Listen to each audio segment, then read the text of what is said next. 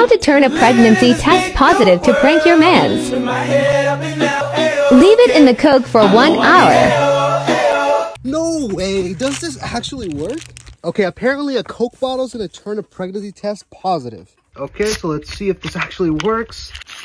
So here's the test. So if you dip it in the bottle for an hour, it will turn positive. Let's see if it actually works. Here we go. I'm going to wait an hour and see what happens. Okay, so the test wasn't fitting in the bottle. So I'm going to pour the bottle into this bowl.